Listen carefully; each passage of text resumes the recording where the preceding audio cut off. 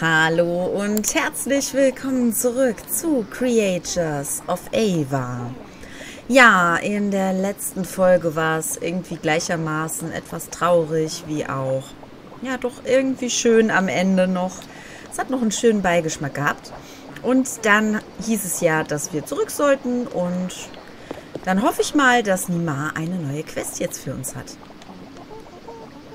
Ich habe deinen Kumpel gefunden. Hm. Hab ich gesehen. Okop hat sich echt verändert.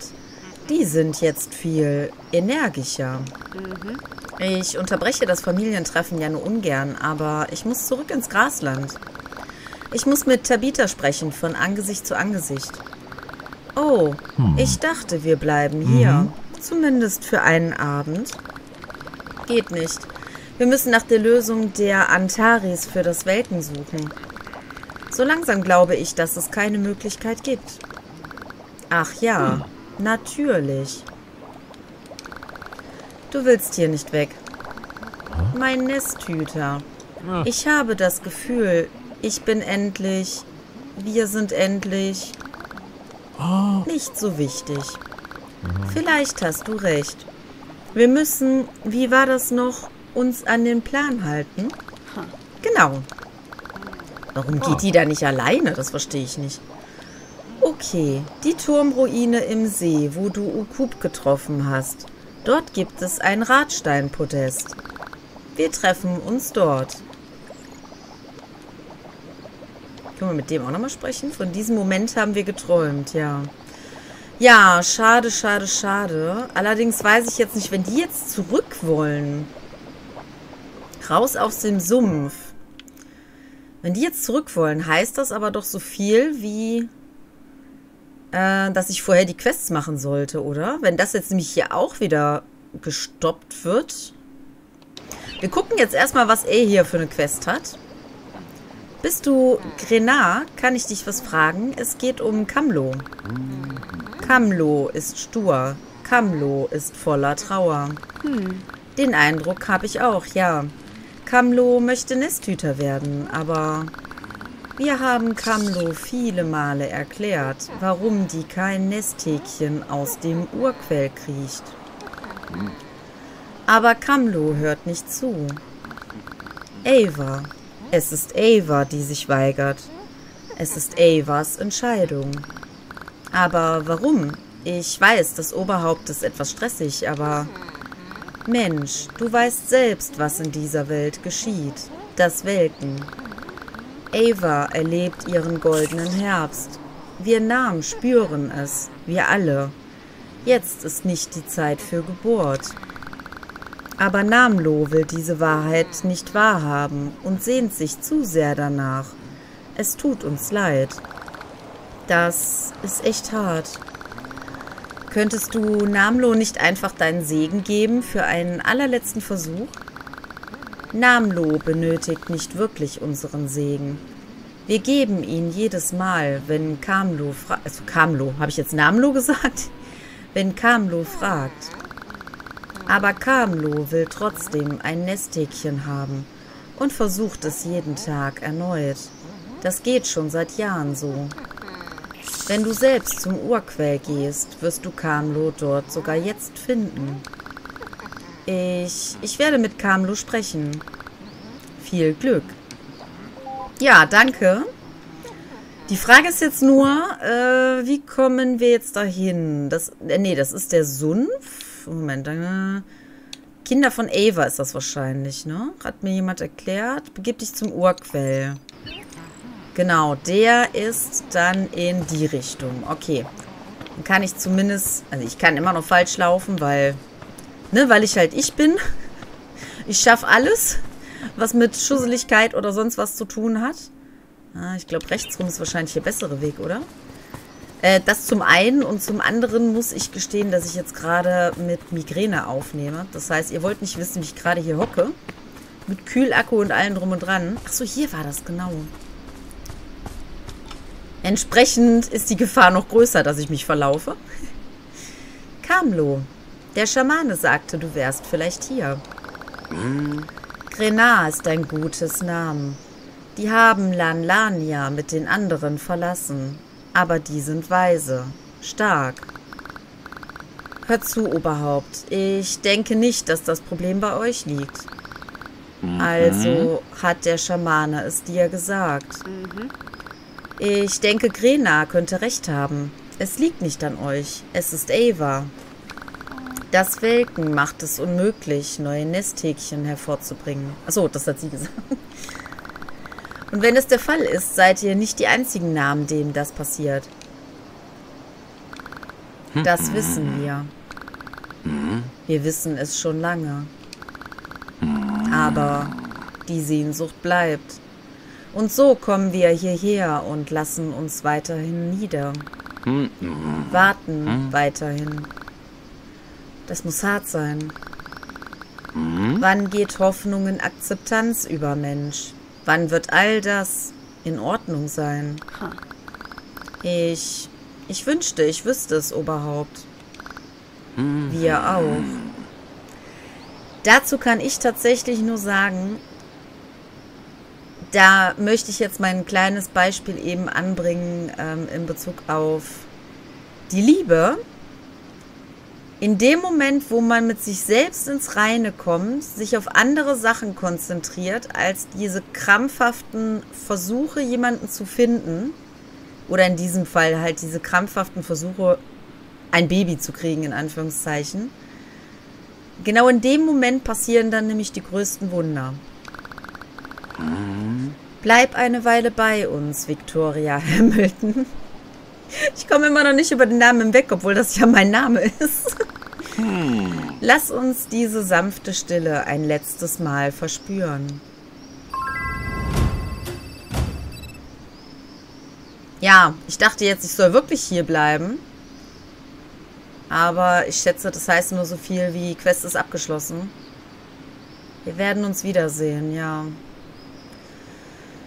Das ist alles so traurig. Wieso geht er jetzt wieder hier rein? Ich hasse das, dass der mal so umspringt. Mm, wir haben ja noch eine andere Quest, die wir theoretisch machen könnten, die hier aber anscheinend gar nicht drin ist. Ne, Moment, die ist von... Hä, weil ich die nicht angenommen habe? Deswegen steht die hier nicht drin? Kann das sein? Die ist, Moment, die ist, ich laufe in die Richtung. In dem Garten. Äh, Moment, Moment, Moment, Moment. Das heißt, wenn ich jetzt erstmal hierhin teleportiere, es geht ja ein bisschen schneller. Und dann müsste ich quasi dahin, wo ich noch was verschicken kann. Also dahin. Das ist immer so ein bisschen blöd, weil sich das Teil immer dreht. Moment, Moment. Da muss ich in die Richtung. Die Frage ist, aber ich glaube, da war was zum Runterlassen, oder? Ja, genau. Muss ich in die Richtung? Dann da runter? Nehme ich an. Hui. Ich sehe übrigens gerade da hinten. Den habe ich aber schon gemacht, oder? Da bin ich doch hingegangen. Das habe ich doch hier umgeworfen. Ähm, geradeaus und da, wo ganz viel ist, muss ich nach links in dem Bereich. Okay. Nein. Achso, doch. Oh, ich dachte, ich komme jetzt hier nicht runter. Okay. Ah. Gut. Oh, nein. Das ist nicht gut. So. So, da muss ich jetzt hier nach links, glaube ich, ne? Weil da ist das Ausrufezeichen. Wir wollen aber eigentlich ein Fragezeichen, kein Ausrufezeichen. Da hinten ist das Ausrufezeichen. Ähm, Frage ist jetzt nur... Ach, das ist das, wo man da runter geht, glaube ich, ne? Äh, was hier? Da, nee, da hinten ist die Statue. Doch, da hinten ist das Seil. Genau.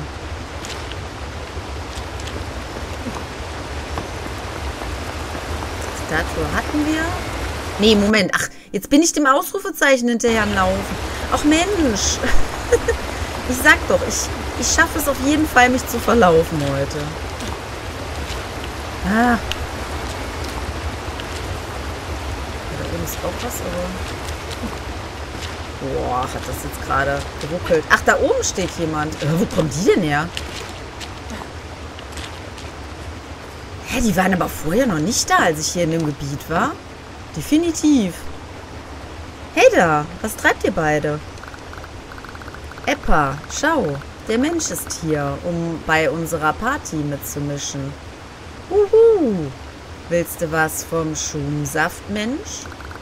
Er ist aus fermentierten... Ah, ich verzichte, aber danke. Was feiert ihr denn? Das Leben und alles danach. Die Welkeblüte ist hier und bleibt hier. Uhu. Haben die Drogen genommen oder was? Sorgt ihr euch nicht wegen der Bedrohung, die das Welken für euren Planeten darstellt? Bedrohung? Wir wissen nur, es gibt eine Zeit für Sorgen und eine Zeit zum ordentlichen Abchillen. Und wir selbst und unser Kumpel Eppa, wir wissen, welche Zeit jetzt ist. Jawohl. Und welcher Ort wäre besser, um das Welken zu erleben, als Avas Nasenloch? Ah! Uh. Uh. Okay, die haben wohl keine Drogen genommen, also irgendwie schon, äh, sondern haben gesoffen. Avas Nasenloch? So nennt ihr diese vulkanisch aussehende Formation? Oh. Hey, hey, ihr Menschen habt doch immer eins von diesen Dingsbumsen dabei. Du weißt schon, so ein Klick-Klack-Zeitanhalter. Eine Kamera, ja. Mach ein Foto von uns und unseren absolut besten Kumpel hier, ja? Na los. Okay, kann ich machen. Äh, wenn ich die richtige Taste finden würde. So. So, ich hoffe, ich krache jetzt nicht irgendwo rein. Sehr schönes Foto. Gilt aber anscheinend nicht. Moment, mit dem... Mit dem Nasenloch. Drehen die sich um, wenn ich die von der anderen Seite fotografiere?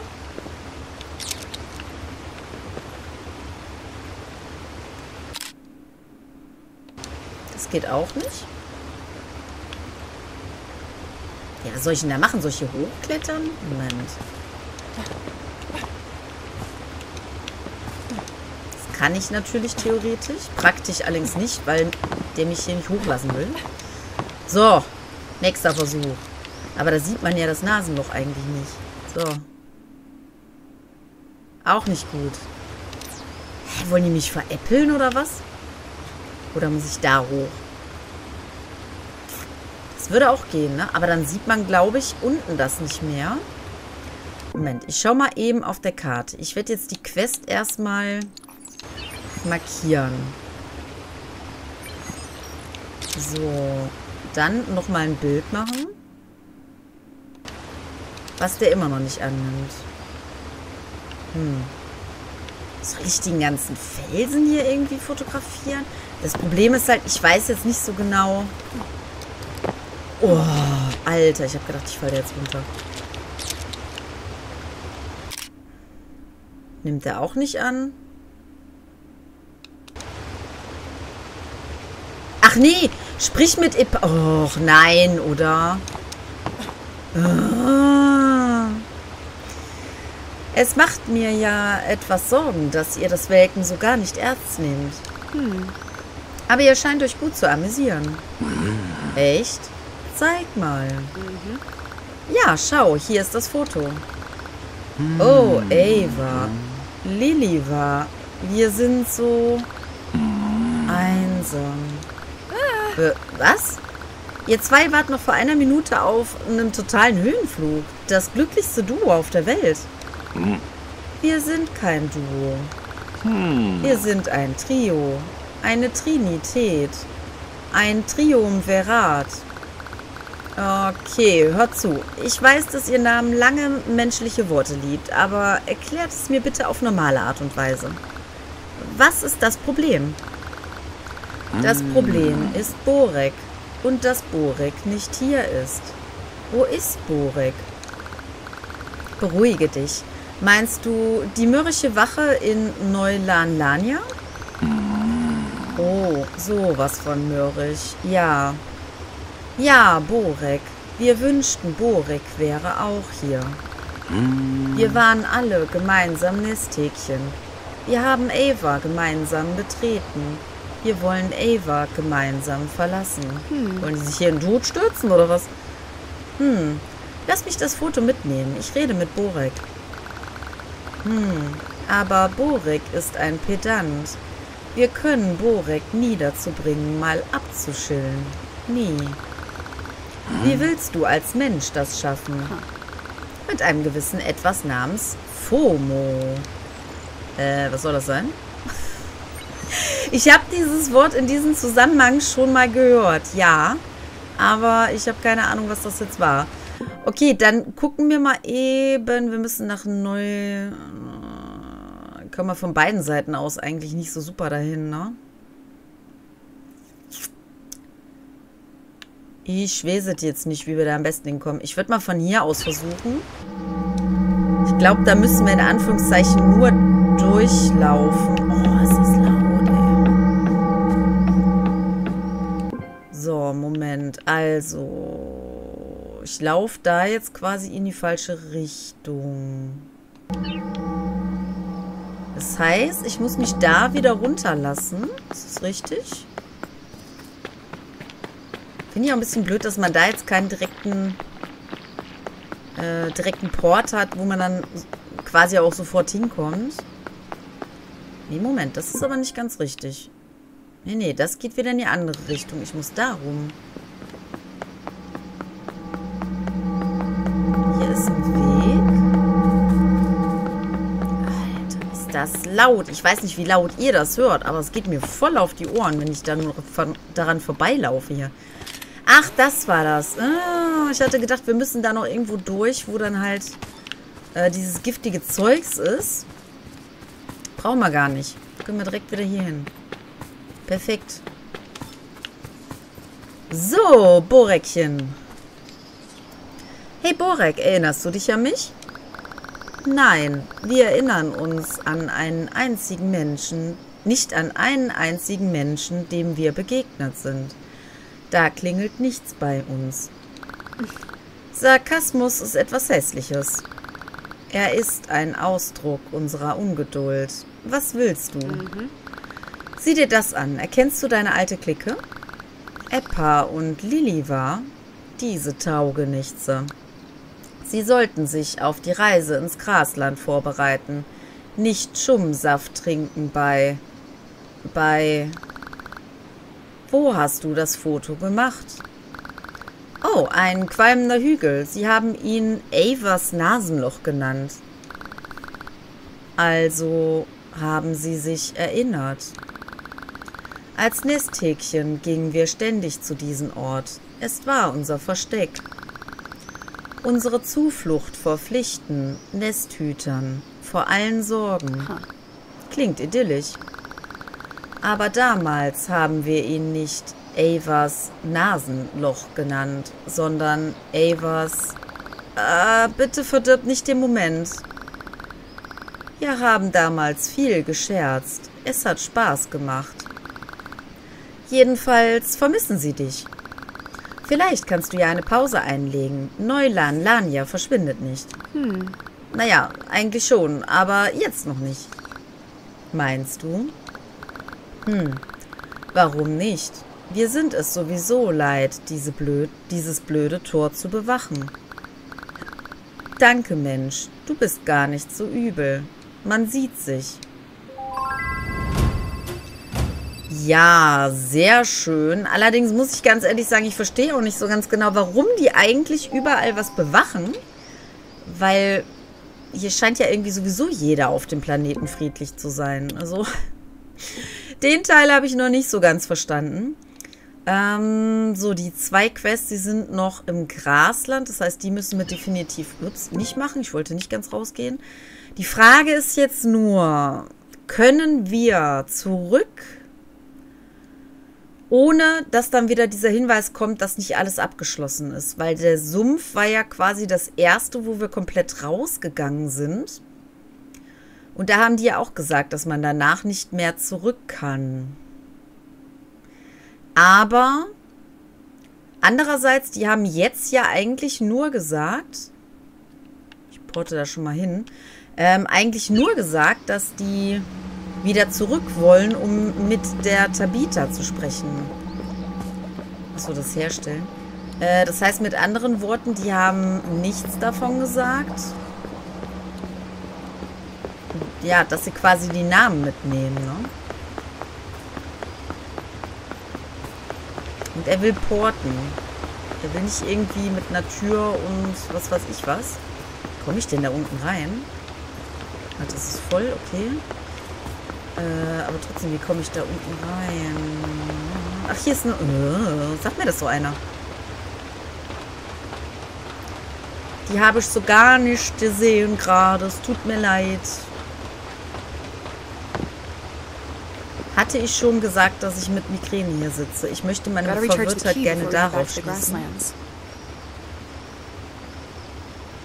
Ja, aber... Ich denke, hier ist ein Tor.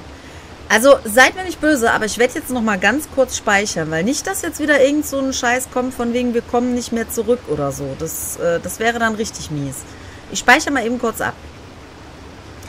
So, dann schauen wir mal, ob die uns jetzt einen Hinweis geben. Ja, ja, ich wusste es, ich wusste es. Unentdeckte Sumpfinhalte, permanente Ausrüstung und so weiter. Ah, das ist doch doof. Vor allen Dingen haben wir hier noch so viel, wo wir eigentlich noch ähm, die Kreaturen hier sammeln müssten. Ich meine, ja, die 100% werde ich sowieso nicht kriegen, bin ich ganz ehrlich. Aber ich möchte das jetzt auch nicht unbedingt gar nicht machen. Ich möchte das dann schon für mich privat zumindest so haben, dass ich dann alles, ja, was ich halt noch gefunden habe, was ich noch, konnten, äh, äh, noch machen konnte, dass ich das zumindest noch durch habe. Wobei ich mich jetzt nicht daran erinnere, dass wir jetzt tatsächlich so viele Kreaturen hier noch haben. Hm. Ja, dann würde ich sagen, wird das Ganze heute mal eine etwas kürzere Folge. Ich werde versuchen, mich dann trotz Migräne heute Abend irgendwie noch privat hinzusetzen, äh, die Tiere wenigstens noch einzusammeln, weil ich denke nicht, dass ich das nochmal aufnehmen werde. Das wäre eigentlich nur sinnvoll, wenn man die 100% noch machen kann. Die kann ich jetzt eh nicht mehr machen, wenn ich das Ganze verlasse. Ja, und es, ich denke mal, es ist für euch auch einfach langweilig, wenn man dann diese ganzen Nebensachen sieht. Es ist wirklich nur hin und her laufen vielleicht hier und da mal was bewegen und äh, die Tiere dann natürlich zu diesen Kreisen führen. Also es ist ja immer das Gleiche. Und ich gehe mal stark davon aus, dass euch genauso wie mich auch die Geschichte in erster Linie interessiert. Und ja. Dann machen wir hier erstmal einen kleinen Cut. Und wenn wir uns dann in der nächsten Folge wiedersehen, werde ich natürlich auch wieder hier sein.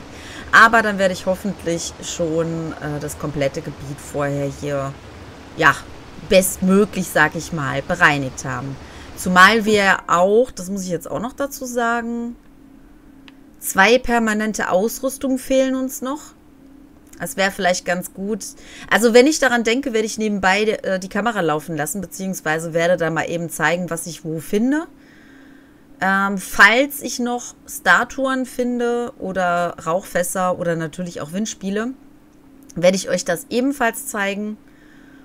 Und ja, wenn das aber jetzt nur so in erster Linie ist, dass ich halt wirklich die Tiere da machen muss, dann äh, machen wir das halt so. Das ist wohl das Beste. Bis zur nächsten Folge. Ciao. Wenn ihr mich und meinen Kanal unterstützen möchtet, dann lasst doch gerne ein kostenloses Like da oder vielleicht auch ein Abo. Lasst doch gerne einen Kommentar da. Und wenn ihr mich finanziell unterstützen wollt, dann könnt ihr natürlich auch gerne eine Mitgliedschaft eingehen. Wir müssen dem Logarithmus von YouTube ein wenig entgegenwirken und die kleineren Kanäle auch ein wenig pushen, denn die bekommen meiner Meinung nach zu wenig Aufmerksamkeit. Vielen Dank für eure Unterstützung und bis zur nächsten Folge. Ciao!